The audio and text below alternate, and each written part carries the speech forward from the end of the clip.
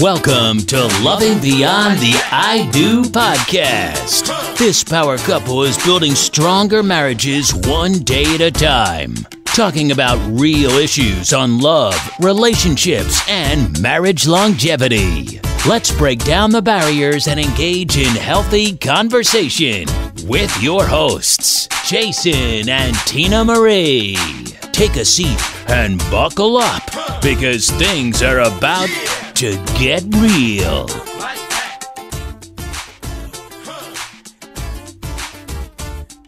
Hey, hey, welcome to the show. Welcome back, everyone. Welcome to another episode of Loving Beyond the I Do podcast with your host, Jason and Tina Marie. That's me.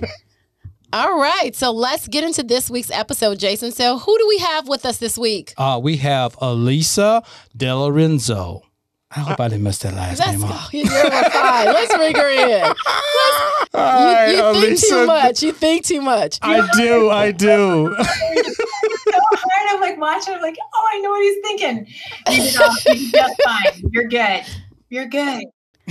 So, welcome to the show, Alisa. Tell us a little bit about you. Well, um, like you said, my name is Alisa DiLorenzo. I have been married for 25 years now. Um, my husband and I, about 12 years ago, started our business called One Extraordinary Marriage, and we've been impacting marriages around the world now for the last 12 years. Wonderful, wonderful. Nice. And so, what made you start impacting marriages? What made you guys decide on that? Yeah, what were you trying to fix? Because you're, you're probably trying to fix something. Always trying to fix something. Right. You know, really, it was one of those things where we, you know, a couple years prior to that had gotten to a point where our own marriage was not good. We were most definitely living as roommates and not as lovers. And we got radical about changing that. And in that process, we realized that there were a lot of people that wanted something different in their marriage, but they didn't know where to find it. And so we went after trying to help them find it. And so, when you said you realized that you were roommates, was it the thirst station or the need for more? Is that what brought you to that? Because so many times people don't even realize they're roommates. They Right. it's, it's kind of like expected, right? After a while, the the intimacy, the love dies down, and we're just existing. So, Mhm. was it the crave and the need for more? it was it was getting to that point where you know in all honesty our kids were two and five at the time Wow. and we started looking at the fact that we had a couple options um, divorce had been talked about like this is we're not doing good and we're not enjoying each other so maybe maybe we just cut the ties um, we looked at that two year old and said maybe we do what's pretty common we stick it out for the sake of the kids right for the kids, right? for the kids. But then I Mhm. was looking at that two year old going, that is a long time to be miserable. like she she is now 16 and, and like I, when I look back at, at her two year old self and I think, oh my gosh, like if we hadn't done something, how miserable the last 14 years have been. A- and then, you know, the third option was do something drastically different and I'm married to a guy, Tony. He's you know this wonderful man, and he is the eternal optimist. He's a big visionary, and he's like, you know what? Divorce is not. I don't want divorce to be an option. I don't want that to be our story. We're not going to be miserable, so we're going to do something different. All right, All all right. right. It's funny how you said divorce. Was that you guys had talked about it? It's it's so often that that's usually the first thing we turn to. That's the only thing Right? we know. I mean, like if it's not working, we talk about divorce. Yeah, so many people don't realize that there's an as in yours option C, right? Or the third option, let's do something let's do something to change it around. So what exactly that you guys do to be radical? So we we embarked on a 60 day sex challenge. Okay. Yeah, that's most people are like. Oh, that'll fix, that'll fix anything, I think. Well, you know, just it's so funny that you say that because a lot of men are like, uh huh. Oh, yeah, right. Exactly. Yeah. like what else you got because that like, we don't even need to go past that.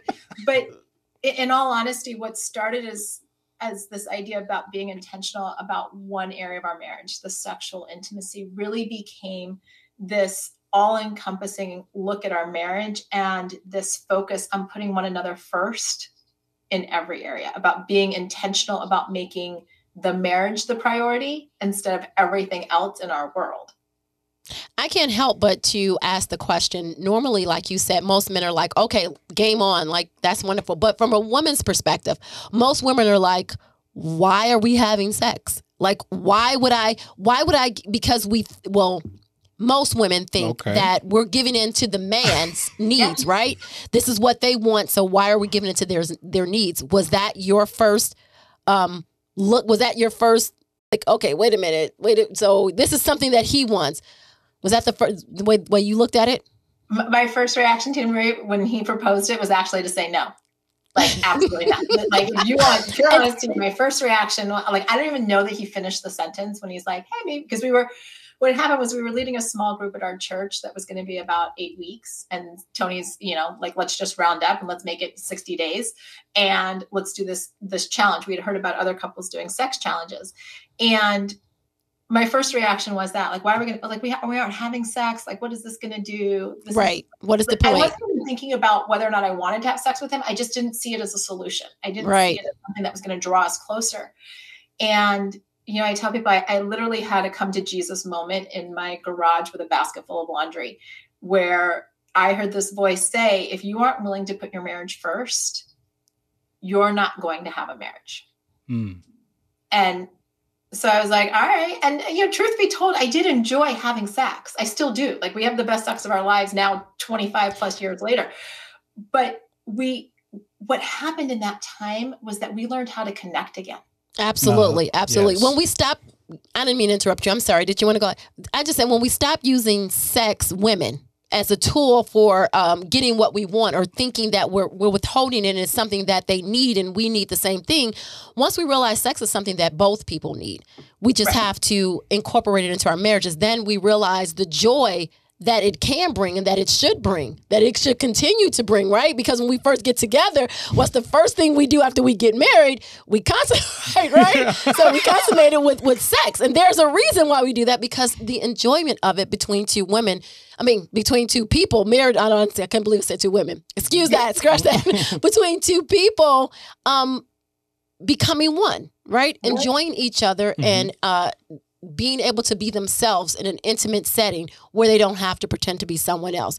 So how did it start? How did when your marriage decided to embark on this, Yeah. where did it lead you and what did you get you guys realize? Well, you know, I look back and I can even to this day, and you know, it's been, gosh, I think like 14 years now, right? Like I can envision where we were when we were having some of the best conversations that we that we hadn't had in years. I remember driving along. We had this, you know, midnight blue Dodge Caravan at the point in time because you know, two and five, you're doing this right. It's the caravan time. it's the caravan thing. Kids were at a sitter's house, so you know, we're going out in style that night. Right. I remember Tony was driving, and I remember looking over at him and just having the thought go through my head I really love this man. He's fun. We enjoy being with each other. And in all honesty, that was probably the first time in years Mm. that I had had that thought because we were in the trenches with little kids and running a business. You know, he had his own business and doing these kind of things. And what what started to shift was we were looking at our marriage with fresh eyes. We were having conversations we hadn't had in years. We were having fun together. We were we were talking about our finances. We were talking about our like we were talking and incorporating all of these different things Mhm. back into our marriage. And all of a sudden it was like I I tell people I'm like it was like being newlyweds again, but so much better because we had all this experience. Mhm. At the beginning, we were, you know, in our case now about halfway through. You know, it's funny. It's it's always the beginning when you first meet someone and the relationship is new and you learn each other and everything is just so wonderful. And I think after kids come, because kids do change your relationship, right? After they come, you're like, I want that back again. I want that feeling back. And we're always like chasing that. I want that feeling and I can't really get it right now. And all this other stuff is in the, in, the way. And this is the reason why I can't have it. So you still, you're still withdrawn um, from the person. And it, it's really hard to, to um, try to get that feeling back. I think you should just start from where you're at and just relearn and how to, you know, relearn each other and how to deal with the situation at hand because now you have kids and now the dynamics has changed. but but as you said, I think it's the point of putting everything else first. That's what we that's where marriages go wrong. We put our jobs first, we put our kids first, we put our, you know, um soccer first, anything, anything except the marriage, and we don't realize that Yeah, we're doing that. relationship for sure. and and it's just the issue that we have um I, I think pretty much been taught that right you put ev- you you take care of everything as a wife and as a parent and we we just never learned that the marriage should be um, something that we continually maintain Well, and and as I say a lot of times to my coaching clients, look, y- y- you know, if we do our jobs well, in somewhere between 18 to 20 years, those little human beings that we've brought into the world should get up and leave our home. should get right. Yes, yes, yes. And That's the if goal. not- Right. Yeah, and if not, as Tony often says, he goes, or we'll just lock and change the locks, and Right. they won't. But you know, eventually, it's going to be the two of you again. And what are you going to have? And, and I think part of the epidemic that we see is, you know, couples get through, you know, 20, 25 years of marriage, Right. the kids grow up and grow out. And then we're staring at this going, I, I, I don't know you. Right, And I want absolutely. do But we haven't cultivated them. And so, you know, let me go find that somewhere else. right Yeah, right. right absolutely And that's why you guys are doing what you do and we're doing what we do. Say, "Wait, absolutely let's bring it back into this relationship. Absolutely, Exactly. absolutely. I think again, we so often um some marriages don't realize that till till late, Mhm. right? But if Right. we but if we look outside the marriage to seek someone else, we're doing the same thing. Right. We're starting to learn that person that we're seeking and it's exciting for people, but you can have that same thing in your marriage. And that's Yes. what we have to continue to spread the word that marriage can be happy and That's how it was sexually fulfilled Yes. and exciting again, right? Well, and and that's why I love what you guys do because we are pushing back against that narrative. Yes. Absolutely. Oh, I mean, I we have couples in our community who have been married 30, 40 plus years who will tell you they're having the best sex of their lives, Mhm. which flies in the face of every cultural norm that says the best sex of your life is going to be at the honeymoon, and then it literally is It just, just it goes off a cliff. Right. Yeah. Right. You're done. You're done. Right. It's just going to be miserable forever. it doesn't have to be that way. You don't have to have the best conversations at the beginning. You don't have to have the best times at the beginning. As you get to know each other and you continue to grow and learn who your spouse is, have them 30 those conversations 30 years in, 50 years in. Keep growing and changing together. I, I think that the re- relation, I mean, not the relationship, the conversation is more rich as you progress and you grow with each other. I mean, you can get more in depth because you don't really know. Well, if you're young, I mean, like we've been married 30 years. Well, when we got married, we, we didn't know what was going on. We was hopeful. I mean, we loved each other and everything was all, you know, the grass was all green and everything. And then, you know, now we can have those real conversations with some meat on the bone. And the thing is that when you first meet your your mate, right? You're spending hours talking. Yes. And Mhm. so even after kids or after you know um, a long career or extensive education we still draw apart from each other so we can still get to learn each other again and it can be just as exciting you're like wow i know when when our kids first left the nest we were excited Oh, yeah. we were so excited I got my life back. I couldn't believe that there were people like we ran into people that said, "Well, I don't know what I'm gonna do." I'm like, I'm like, "Are I you know kidding?" exactly what I'm going to do. I was like, "Oh my god!" I said, "You know, just take your eye off of your children and Right. realize what you can have with your spouse." And I was like, "It's the best thing since sliced bread." Are oh, you kidding goodness. me? This was I'm like, "Oh my god, we haven't." I have my own time. I don't have to be somewhere because they have to be somewhere. I go when I want to go. I'm like, oh, it was just the, the thrill of just us again, right? yes. reacquainting with the person that you married and now as you said you draw apart but getting to know that person again not only that but getting to enjoy things at where you are now Mhm. meeting the person where they are now instead of saying well you used to be like this now we're we're redefining ourselves into what we really like what we can continue to do so what did you and your husband embark on after the 60 days so sex was good you got to know each other you were like Now wow you now you're back on good footing. Now come on now. we're like, Now- things, things were re- now tear up the divorce papers. Let's let's get up. so what did you guys do there to continue the up? Well, so from there, we embarked on what we've been doing ever since, which is called the intimacy lifestyle, specifically for our sexual intimacy. And that was, you know, sitting down and actually having a conversation. What do we want our sexual intimacy to look like?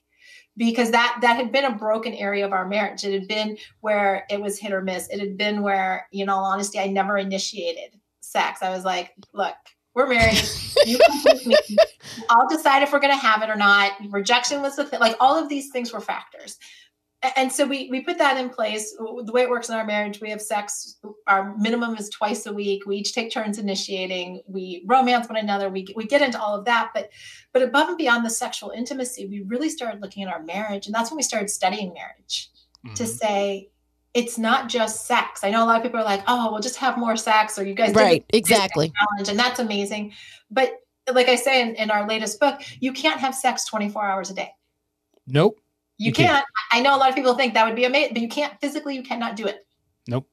So you have to look at your marriage in its entirety. And so we started getting really intentional about our conversations, right? And making, and actually putting one another on our calendar and saying, you're so important. There's going to be a little time slot on there that says Tony or Lisa. Right, right. And I, yeah. Wait, wait a minute. I mean, I, I like the idea. Of, But I'm uh, just saying, I think that's, and I hate to cut you off. Yeah. I think that's part of the key, right? Realizing that you're important.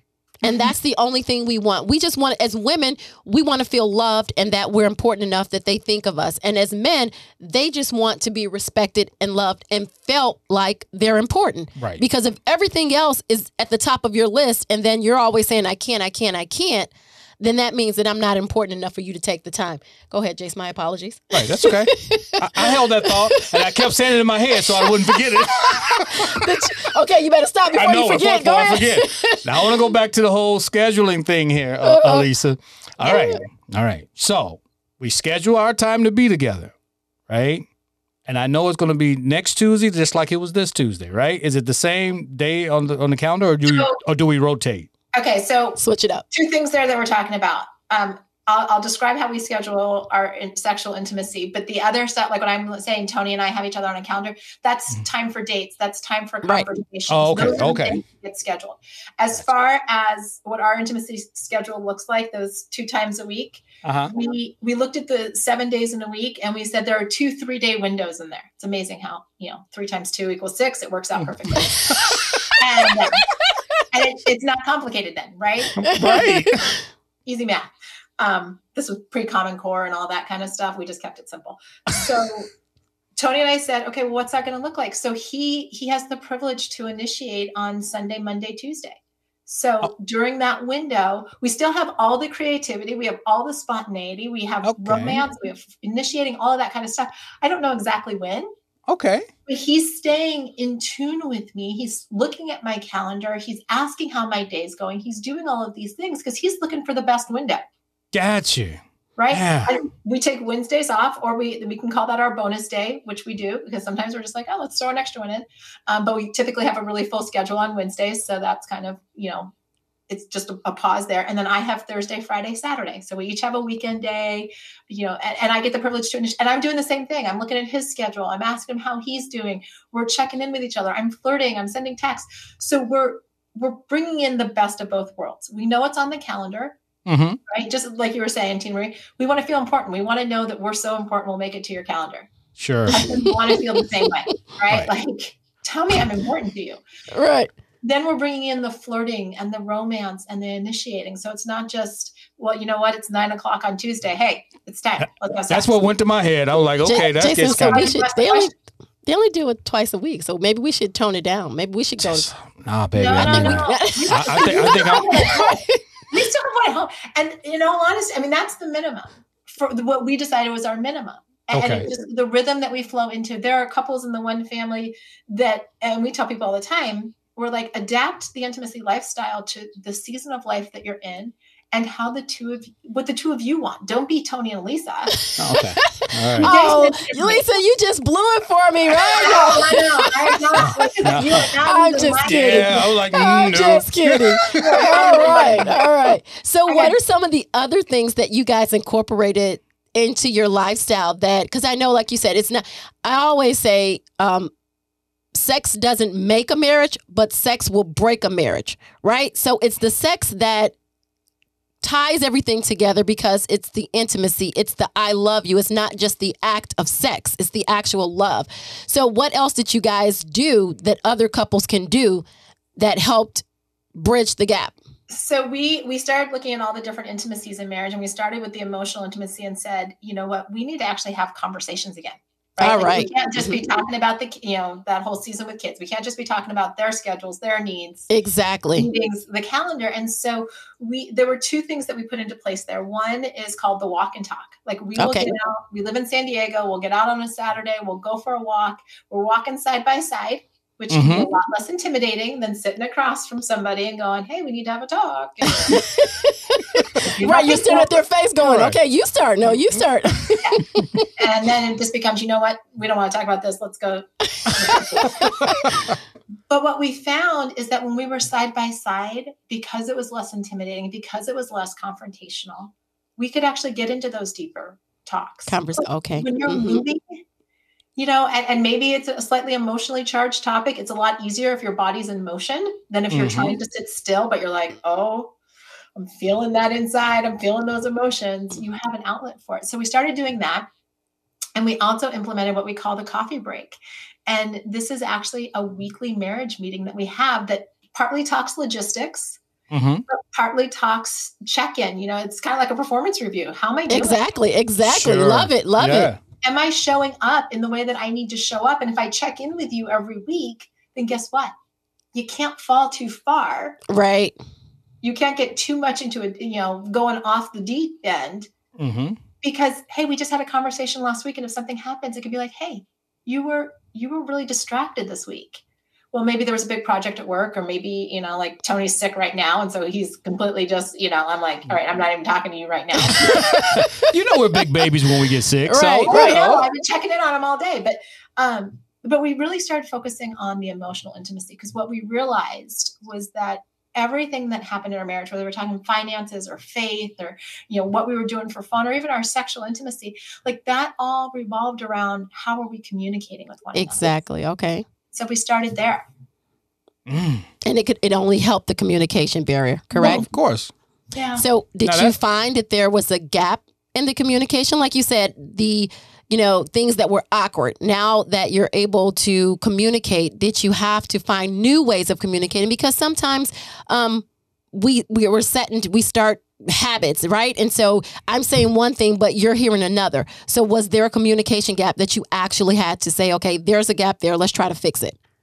Yeah, and I wouldn't say so much that we had gaps, but there were definitely skills that we had to develop. Okay. um, because you know most of the time it's been my experience i've been coaching people now couples for about nine years we're never like if we don't see our parents have great communication and most people don't see every Exactly, conversation mom exactly. and dad had so you don't know how they're talking about finances and you definitely don't know how they're talking about sex or Mhm. you know Right. these things exactly. hmm you get married and you're just supposed to figure it out and a lot of times what happens is that there's there are just skills that need to be developed how do i become aware of my tone of voice hmm right That- that's why yeah you're shaking your head Yeah. Now, sometimes like we're just not aware Right. Right? But i can have and tony's said it many times um, my mom eye goes up and i can take a really sharp tone of voice. Why we don't sit across from each other. He's like that eye goes up like do with the kids and not happening. Um, but i had to become aware of that. And i actually Right. take ownership of it and say Exactly. effective right i had to learn how to ask questions instead of making the assumption i knew what tony was talking about you know we we incorporated this question into our marriage and it's been a game changer i'll be like well, well what does that actually mean what does that mean to you Right. All right. because you can hear a word like uh, but you mentioned it earlier Tina Marie. you can hear a word like respect right we hear Mhm. men, men want to be respected Right. but jason i could ask you i could ask tony and i could ask 10 other guys what does What is- respect mean and i Right. promise you i'll get 12 different answers Absolutely. for sure. Absolutely. but if I just take in, well, okay, Tony's asked, Tony says he wants to be respected, and I'm thinking, okay, well, how did how did my dad want to be respected? How did the men in my life want to be respected? And I Mhm. operate out of that. I could be completely missing the boat, and we're having this friction. And I'm like, I am respecting you. Come on, I, I heard that tone in your voice when Yeah. it went up. Yeah. It went up. Yep. I'm and so, so getting into this place where, uh, for both husband and wife, saying, "Hey, I don't want to misunderstand you. So, how does that look? What does that mean to you?" Exactly. Now all of a sudden I'm trying to understand you. I'm not trying to make put my own assumptions or perceptions on you. and so we started developing that. We started developing how do we break our own conflict cycles, right? I mean, that's a huge one because Sure. Yeah, just keeping the cycle short. or for men non-existent, right? yeah, Yeah. So we know that you guys wrote a book, Yep. which was primarily you, probably because Lisa, because you have a lot to say, and men just chime in sometimes. So it, it did say. Listen, listen. The men are the bullet points in the strong bolded area in the book. So what do you want to say about this? So you're like, what do you want to say about this, Tony? Uh, he has Yeah. two sentences. All right, sounds good. How Right. about this chapter? And right? we nail it right there. so so just one funny thing about that so every chapter uh, around the six pillars does have the section called tony's thoughts and we were, we were recently recording the audiobook right because our audio we always do an audiobook for every title that we have and and we get to one section and he's written quite a bit right like i'm like wow. and he starts reading it and he's like that was a lot and the book is 200 pages long you have like 12 pages in the book right this is just a longer one just go with it just go with it. I didn't say that, 'cause we did keep it short and concise. So he was shocked. He couldn't believe he had so much to say. And So I must say, much must ask, which chapter was that? uh, it was probably so funny i think it might have been actually i think it was around spiritual intimacy because he included the footprints poem and he he actually read it out loud Okay. Um, so I think that was the long one where he was just Okay. like, I'm like, honey, this is pages. right. Out of I'm two, loving it, out but of it's 200 pages. Out of 200 pages, you wrote 12. Like Man. But those were some 12 strong so. pages. So share with us your book title and the pillars, if you don't Yeah. mind. So the title of the book is The Six Pillars of Intimacy. And Okay. those six pillars, and I've kind of alluded to them a little bit here as we've been talking, but the first one is emotional intimacy. So you have emotional, physical, which is all your non sexual touch, financial, everything related to finances and family. Um, then you have spiritual, faith, and all that comes with that. Um, recreational, the things that you do for fun. And the one that we've already talked about a little bit, uh, sexual intimacy. So I have a question for you. For those couples out there that um, uh, maybe one mate likes to do a lot of recreational things and the other mate doesn't, what would you um, give as a suggestion for them in that capacity as far as recreation? So it's super important, yeah, and, and I, I love your show, you know, going beyond the I do, loving beyond the I do, and getting into this place because truth of the matter is, most couples before the I do, hmm take it all the way back there, they yeah. were doing things together, Oh, they were. And and they were doing things that maybe maybe they didn't love, but you know what? Because you suggested it, and you're cute, and I want to spend time with you. Exactly. You know what? I don't care. I just you look good. I'm coming with you, whatever it is. I want to one day say I do, right? So we're willing to do it. Right. And so what I would say is you've got to go back to that place, Okay. right? You what happens so often after the I do is that we just start saying no. No, I don't want Oh. to. No, I'm not interested. No, I'm too busy. Like, let's get back to if we were dating and we would have said yes because you're cute and I just want to spend time with you, let's do it again. Right. And, and let's start having those conversations about, okay, well, maybe, you know, case in point, there was a couple I worked with years ago. They married later in life, and she was a huge NASCAR fan. Like, Okay. NASCAR. She loved NASCAR. And he loved going to the shooting range, right?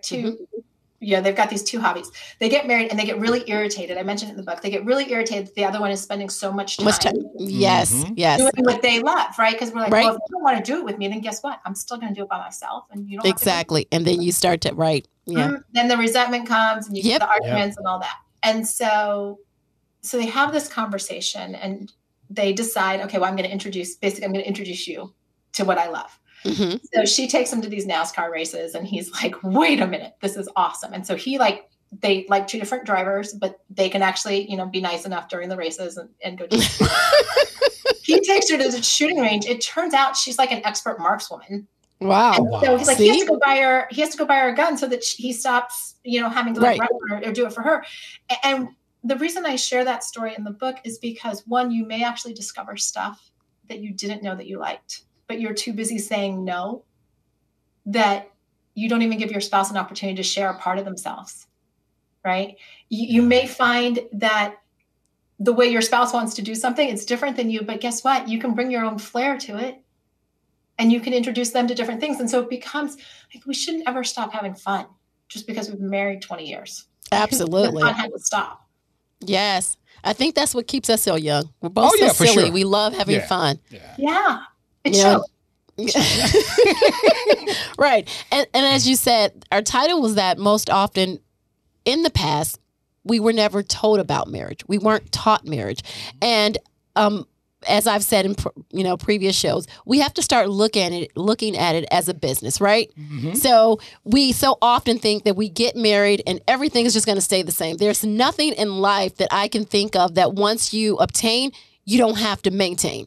Like I'm mm-hmm. thinking, okay, what what you know anything. Any, And so we we do all these other maintenance in our job, in our education, in our car, in our homes, with our children, but we never think about it in marriage. And that's why we came up with the love and beyond the I do, because so often after you say I do, the love really does dissipate, mm-hmm. right? Yep. And people don't know how to get it back. And so we're trying to help it with your book and with having guests like you so that people can understand that marriage and happiness All can right. be in the same sentence, right? Yeah. We can, along with sex, right? Yeah. Yep. So it's unfortunate that Tony is sick because I was telling Jason we have to have both of you guys on because, of course, there's two different perspectives to every marriage, and we definitely want to hear from the man's perspective. You know what men think in marriage and how he felt at that point of despair in marriage. Like he said, I don't want to get a divorce. But when you guys wrote the book, Yeah. how even more did you learn about each other and learn about what marriage could be? Well, I I will tell you that writing a book, and I've said this ever since our first book 10, 11 years ago, writing a book is like having a baby. Really? Oh. Yes. um, the idea sounds amazing, right? Like this is going to be so good. Even getting started is amazing. It like it's incredible. You're like, oh my! I mean, let's face it, making a baby, the beginning part, awesome. Um, we're putting the first words down around a book, but then there's this whole process of writing a book and rewrites and editors saying that makes absolutely no sense and that you didn't even bring that up before. So where is this idea coming from? and, and so you're in that middle stage, and then you start nesting. You're like, oh my gosh, this book is coming. Like it's going to go to print, and I'm not ready. I'm not ready. I'm not ready. And so we did that. All this book went from first word to um, to print in five months. So it was actually a little shorter than a baby, but in the process, this was actually the first book that we've written that even when we had really difficult points where you know there might be a difference of opinion on everything from um, well, some in some chapters even a word choice to you know how what's the format going to look like what's the inter i could tell that our emotional intimacy had grown so much because Okay. the first book where it didn't kind of come down to one of those arguments where i'm like nope i'm done talking like I'm the one doing all this work. I'm putting all these words on paper. This is the way it's going to. And I've had that experience in previous books. Um, I, I remember, especially with like our first one, you know, Growth. Wow. that was the growth in the emotional. I was so aware of the emotional intimacy, and, and even as we were recording the audiobook just um, in the week between Christmas and New Year's, even rereading the book out loud, I was struck by just how strong the framework is and how Mhm. many couples we've seen be impacted by this framework. Like, like I would tear up reading the book Wonderful. because I would just I would hear I would hear my own words coming back to me, um, which is a very surreal experience. But but just in that place of going, so many people's lives have already been changed by these concepts, and knowing that as the book is re-released in audio, it's already out in paperback. There are just couples literally around the world who are seeing their marriages transformed. Wonderful. Wonderful. So, what made you pick the pillars in the order that you did in the book? I know you say you start off with emotional, uh, then physical and stuff. So, tell me a little bit about the order. So, you know, emotional and sexual anchor either side of the six, right? So we start with emotional. We call it in, and we've used this term for years now. Emotional intimacy is the workhorse, right? You Mhm. can't do anything else if you can't talk, if you can't share your emotions, if it's not safe. So we start with emotional and we end with sexual because everybody, like the minute they hear the word intimacy, they think we're talking about sex. And we're like, Yep. Exactly. hold on, you, you got to work on this other stuff before we can get there. You know, we're not just jumping into bed.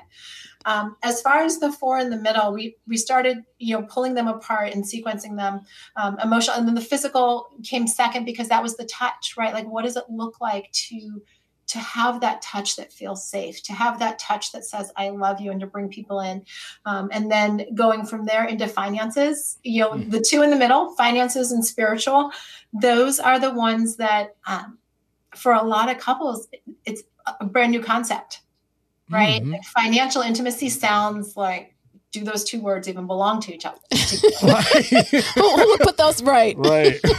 you just said money and you said intimate. Like there is no way in my peanut family. butter and ketchup. It was like peanut butter and ketchup. Right? that, that's actually really good. I might have to use that. Um, All right. But but we wanted to we wanted to create a safe space for couples to be able to talk specifically about those two intimacies because they're new concepts Mm-hmm. Right. And then coming after that, so that's the financial and the spiritual. And then the recreational, we were starting to introduce that concept of fun and what are the things that you do to create the memories. And then again, like I said, end with sexual. Wonderful, wonderful. Was it hard to um, write for you as far as physical and letting people know physical does not mean sexual? Was it hard to put that into words and especially with men? You know, because I think men kind of kind of blur the line there. Well, what we found, Tina Marie, over the years, because we started pulling physical. So our very first book, Stripped Down, 13 Keys to Unlocking Intimacy in Your Marriage. In that one, we had physical and sexual synonymous, right? Oh, but okay. Okay. Wow. And that was, that was, like I said, a million moons ago. Um, but over the last 12 years, we've really been looking at this and going, wait a minute, they're not. And so we've been sharing mm-hmm. with our audience for a lot of years that physical intimacy is not sexual intimacy but a lot of people have gotten confused i think over time when when they hear that well my spouse's love language is physical touch and that exactly. there's automatically this assumption that it's sexual Sex. exactly right but to your question about men for a lot of men it's actually really helpful to be able to pull those two out and make them separate because now like i had a husband um, i was coaching this couple the other night and they're going through some just some difficult family situations with extended mm-hmm. family and so the husband was actually able to say to his wife one time, you know, in between sessions, he goes, I just need you to hug me. Like what I'm going through. I just, and she knew in that moment because they've been working on all their pillars. Right. it wasn't like he was asking for a hug because he wanted to have right. sex. He was just in a place of deep hurt and he just needed his wife's arms around him. And so even this understanding of physical intimacy is actually allowing both men and women to ask specifically for what they need. I need I need you to hold me. I need you to kiss me. I need you to put your arm around me. I need you just to, you know, give me a foot massage. And, and so there's this vocabulary that is being deepened between couples because they're not thinking, "Hey, I, need, I want you to do something with me and let's have sex." because they understand right. they're, they're right. able to differentiate physical intimacy or they can use the language around sexual intimacy and so it's not this tug of war anymore in the marriage. So it's helping them to develop the more physical intimacy a little bit better instead of kind of blurring it. Yeah. yeah. I read it, I think it's on the physical touch, uh, if I'm not, or emotional. When Tony, you put his hands on you, uh, on your leg as you drove down. yeah, that, that that's our. So yeah, Tony Tony often drives when we're out, and he he does have a greater need for physical intimacy than I do. Um, and it's not something that comes to mind. And so for years, he's been like, Would you just, like, I would love it if you would just put your hand on my knee when I'm driving. And I'm like, That's so weird. Like, I don't even think about. Like, what is that? and so I, I share in the book, and I actually had one of my coaching clients relay that same part of this, the book back to me the other day during a session because she's like, Oh my gosh, Elise, I do the same thing. Like, I have to think, Oh, we're in the car oh, this is where he likes me to put my hand on his leg. Okay, pick up your hand and put it on his leg. All right, now just leave it there and don't don't think about anything. Like he's just going to be super excited. And she goes, she said, Alisa, I read that part in the book and I just burst out laughing because that's the exact same thing that I through. and I thought I was the only one. I'm like, honey, you're not the only one. Uh, so, so you thought that was weird, right? So you just you were like, oh, that's so weird. And what did he say? It just it was it's not my default to think right right, right. exactly let me go do that and he you know he knows he can see the wheels turning when i'm like going through the thought process oh, and you know, he's shared on many an interview. He said, "You know what? I, he he still thinks it's weird that I have to put so much thought into it." Um, he's he's still flabbergasted yeah. that that just you can't me, just honey. automatically do it, right? But he'll tell anyone the end result is the same. Yes. yes. Okay. As long as Alisa, like, I don't care that I see smoke coming out of her ears while she's trying to think this through. If she ends up with her hand on my leg while I'm driving, all is right with the world. I don't care. All right, wonderful. There. What I care is that that's that's the intimacy that's being developed, and that she, even if it takes her more effort, is willing to do it. That's how he. So, have you ever been in the car and you completely forgot because your mind is somewhere else, and then oh. he turns over and looks at you and go, "Oh, oh yeah, oh yeah." it doesn't have to be an every time thing, but there are times when he'll just be like, "Hey," and I'm like, "Oh, I know what that means." It means That's and, so cute. And in all honesty, we we've worked so hard on all of the pillars that and this is not to say we don't have fights. We still do have fights. We are human. Mm-hmm. We have different opinions, mm-hmm. but we've developed the ability to actually be able to call each other out in areas in a loving way to say, "Wonderful, this is what I need," and I'm just going to ask you for it because it might not be on your radar screen right now, and it, that doesn't mean you don't love me. It doesn't mean you aren't thinking about me. It just exactly you're distracted, and I'm going to bring you back into us. And that's part of, like you said, the growth of communication, the growth of growing together, understanding that it's not a you have to or I'm demanding this of you. It's well, hey, I'm maybe pre- preoccupied. So, like you said, that's good. Calling each other out. Yeah, Tina used to get on me because uh, she's like, "Don't leave the house without kissing me." Uh huh. You know, like, sometimes like, we would have like, sometimes we would have little fights, just a yeah. little like the night before he may get upset. Yeah, and I'm, so the, I'm out of here. And I'll so the next morning, you know, the next morning he would get up and I think he would intentionally not kiss me. I, and no, baby, like, I was rushing out. You know, I was trying to get to the appointment. Gotta get to work. Yeah, see? Right, right. So I would text and say, hey, for some reason, I don't remember getting a kiss this morning. I'm but like, I'm like, you still wanted one? I'm like, weren't we mad at each other? but yeah, I mean, but you know, you you grow, so it forces you to still interact when you yeah. at a dis- when you having a disagreement.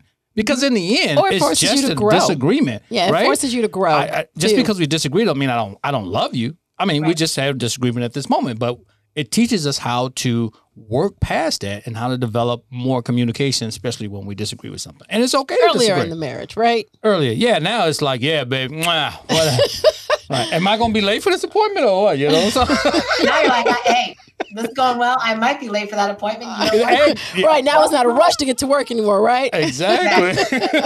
Masters, there's no rushing to get to work. No, no, rush. Oh my God. Yeah, but unfortunately, someone blew when they said, "Well, they leave, but some they come back." The so, wind, so the wind keeps blowing back. Yeah, every know? now and then yeah. they come back, and we keep threatening to change the locks, but we haven't done that yet. Yeah. So, what is one of the biggest, the biggest tips that you would give a married couple right now that was in the place you were in 12 years ago? Take or action. 14. Is it 12 or 14? So 14. 14, okay. 14 years ago is when we did the challenge. 12 years ago is when we started the podcast. All right. Um, so 14 years ago. Yeah. If you're in that place, take action for your marriage. Put each put each other first. See what happens when you shift, whether it's the kids are taking your attention, um, work's taking your attention, family's taking whatever it might be. Turn and I was just sharing this with somebody yesterday when you guys got married, you said I do. Pretty, I mean, even if people were writing all their own vows, at some point in time in the ceremony, they're saying I do, right? I mean, love and right. beyond I do. You right. guys are all about. you didn't say I did. Right. You didn't say I will. You said I do. Get back into being present and taking action. Looking at each other and saying, I do. What does that mean? It means I do have conversations with you. I do engage in flirting with you. I do go on dates with you. I do talk finances with you. I do talk faith with like get back to that point instead of saying all of that stuff was in the past and we don't do it anymore. Get back to the present and take action. Wonderful. I love it. I yeah, love it. So do I. Can you before we get out of here, I want to I want to break down some of these uh pillars here. Can you give me like your uh your highlights from each one. Mm-hmm. Like give me give me my your leading, uh, your your your lasting. Uh, uh, what I want to say. I don't know. you want, Jason, do you want like each pillar and then like an action item for it? What, what when you say that would be highlight? perfect. Yeah, give me some action items that help. Let, okay. let, us help some of these listeners out, or your highlight, your your your most important part of that particular pillar. pillar. Okay, so emotional intimacy again. This is the verbal and nonverbal communication um, for couples. You know, one of the biggest action points with this is making time to talk. All right. So often we're just like skimming through and we're not making time. Um, the next one, physical intimacy, right? How you're touching all the non-sexual touch. With this one, ask your spouse how they like to be touched. It may not be the same thing that it was 20 years ago when you got married. Just saying. Absolutely. Guarantee sure. it's not.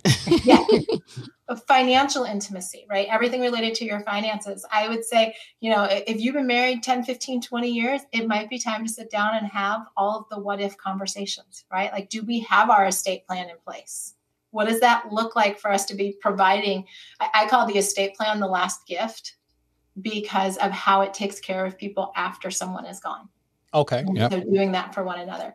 Your spiritual intimacy, this is everything re- related to your spiritual practices, faith, prayer. Start praying together if you are not already praying together out Mhm. loud. Like be bold and pray out loud because when you hear your spouse pray out loud and what their heart, what's on their heart and what they're saying, it is such a place of vulnerability. Uh, recreational intimacy. Stop playing the game where you sit in the car and you say, "What do you want to do?" Oh no, what do you want to do? oh no. Stop being irritated with each other. Fun is not a bad word. It's not a bad, you know, F word. It's actually a really good one. Yeah. Fun again. Lead and plan a date and just sweep him or her off their feet and say, Hey, I've planned the date. One day where you don't have to make decisions is a really good day, right? We make a lot of decisions. Yes, that's true. With sexual intimacy, initiate. If you're not the one that initiates, initiate sex. It will be a really good thing for your spouse. If you are on the other side, where typically you're the one initiating, flirt with your spouse. Doesn't just have to be a hey, want to have sex. Romance them, flirt with them, bring in that holistic experience because it's not just yeah, we're having you know like you were saying earlier, Tina. It's not just the action; it's actually the connection, right? So that's what that looks like in a nutshell. Ideas for all six. All right. So again, tell us the name of your book. Tell us every place where they can get it and where they can reach you Perfect. for more of this wonderful information. Yeah, the name of the book is The Six Pillars of Intimacy. It's this fabulous purple right here. Uh, you can go to sixpillarsofintimacy.com. It's available on Amazon. All basically, if there's a bookstore, you can get it. Um, as far as connecting with me, oneextraordinarymarriage.com is everything that we are. It's all the podcast episodes, all the resources, and the best way to get in touch with me. You can And what that about Instagram and Facebook? One Extraordinary Marriage? We're, we're One Extraordinary Marriage everywhere you would want to look. All right. All right. Sounds good. Thank That's you. right. All right. Any other questions, Jace? Uh, nope. I hope I hope Tony is feeling well. Thank you. Um, you know, Yes. tell him we said hello, and definitely you got to come back and have Tony on. And So uh, we can laugh more. So we can get Tony's side. Tell Tony we didn't get his side. I will let him know that he was missed and that I just made up every all of his answers. No, I. like, you have to go back and tell. I, I know No, this we- person's well enough. I can tell you his, but yes, we'll have him back on. The yes, for sounds good. sure. Sounds good. Well, thank you so much for being our guest. We truly um it was enlightening yes, it was and educational at the same time. right. And we know that um, our message, yours as well as ours, putting this out there will help marriages today and hopefully in the future because marriage should be taking on a different, you know, hopefully we're trying to change the perception of marriage Yep. and the taboo around it. So we know that we can all be happily married. And so we're just trying to encourage that the best way possible. Love All it. right. Love So, it. uh, all right. So as always, we're, We're in it to win it. Thanks for listening to this week's episode of Lovin' Beyond the I Do podcast. Head over to iTunes to subscribe and leave a review. Follow us on Instagram and Facebook at Legendary Relationship or visit our website at legendaryrelationship.com. Till next time, remember to make every day count.